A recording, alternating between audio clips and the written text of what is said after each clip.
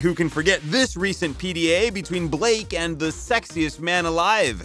No way we can let these guys go without a celebration. Ooh. You can have a sexy muffin.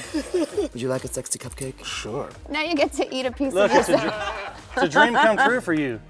Ew! Ew! Ew! Put it back in your mouth. Ugh. It's not weird if, if I lick your face like this. Do you want something on my face? Yes, America, that is your sexiest man alive 2013.